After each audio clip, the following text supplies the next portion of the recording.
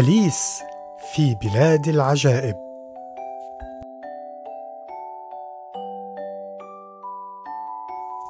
في أحد أيام الربيع الجميلة كانت الفتاة الصغيرة أليس جالسة في الحديقة بين الأزهار وهي تقرأ حكاية.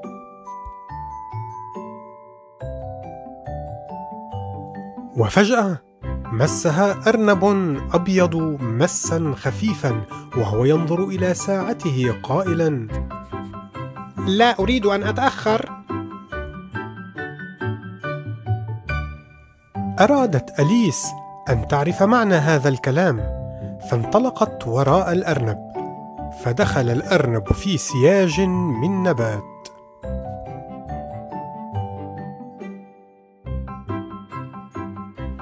وأثناء ركضها أحست أليس أنها تقع في بئر شديدة العمق. زينت جدرانها برفوف كتب وأدوات مطبخ.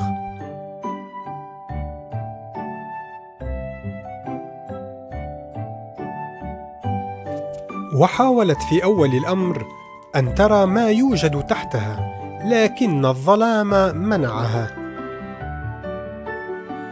ومع ذلك فقد رأت أليس بابا ومفتاحا ذهبيا ففتحت ذلك الباب. فكان ضيقا ولم تستطع المرور فأخذت تبكي ثم رأت طاولة صغيرة وضعت عليها قارورة كتب عليها إشربيني.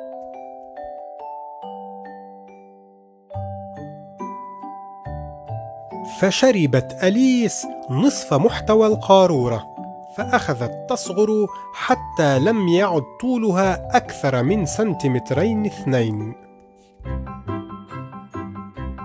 وزلت قدمها فغطست إلى ذقنها في البحيرة المكونة من الدموع التي ذرفتها حين كانت كبيرة.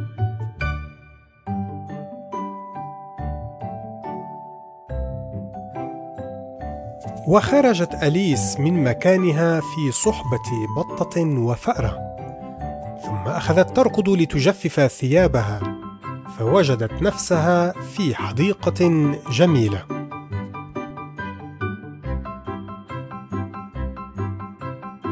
وسمعت وقع أقدام خفيف إنه الأرنب الأبيض الذي طلب منها أن تأتيه ببعض الطعام من داخل بيته.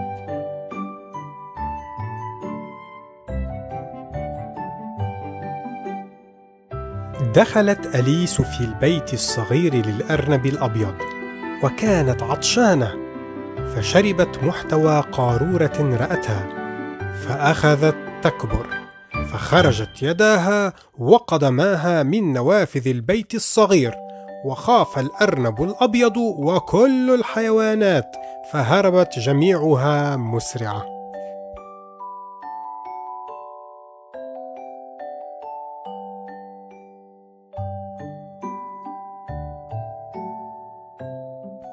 ورأت أليس قطعا صغيرة من الحلوى فأكلت منها فعادت إلى حجمها الطبيعي.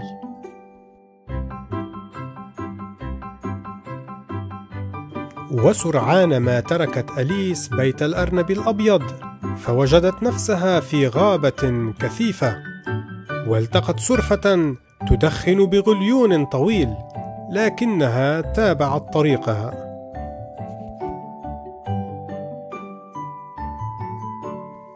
ثم رأت أليس طاولة جلس إليها الأرنب الأبيض وأحد المهرجين يشربان الشاي فدعواها إلى شرب الشاي معهما. لكن أدوات المائدة كانت وسخة ففضلت أليس الابتعاد وتابعت سيرها في الغابة.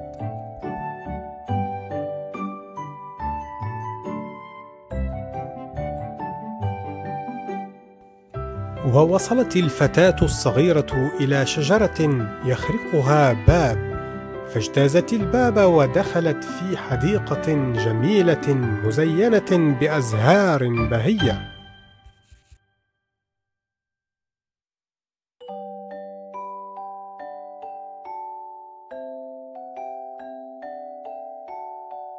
وكانت الحديقة مغطاة بورود بيضاء يسرع البستانيون إلى صبغها باللون الأحمر.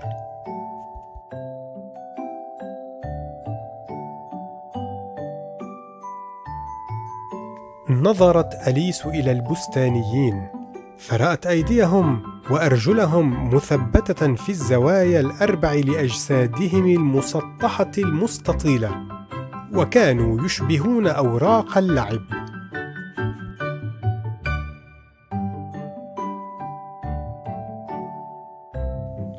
تابعت أليس طريقها فالتقت ملك وملكة الكبة فدعتها الملكة إلى لعب الكروكي معها. ولكن ما أعجب هذه اللعبة. الكرات كانت قنافذ والمطارق من طيور النحام والجنود منحنون بشكل قوس ليشكلوا القناطر الصغيرة. وكانوا كلهم يلعبون في الوقت نفسه ويتخاصمون دون توقف. فضحكت أليس مقهقهة فغضبت الملكة. وأمرت جنودها فساقوا الفتاة الصغيرة إلى المحكمة. ونطقت الملكة الغاضبة بالحكم الفوري. يجب قطع عنق الفتاه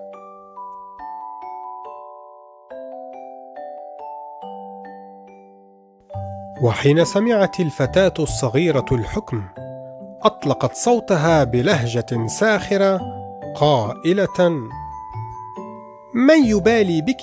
ما أنت إلا لعبة ورق.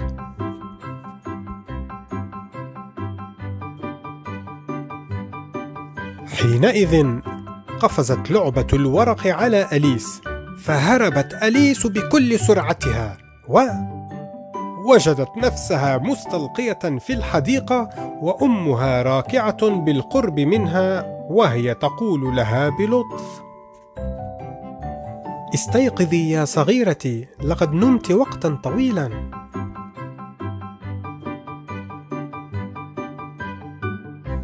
فأجابت أليس آه لو تعلمين أي حلم حلمت. ثم أخذت تروي لأمها مغامراتها الغريبة.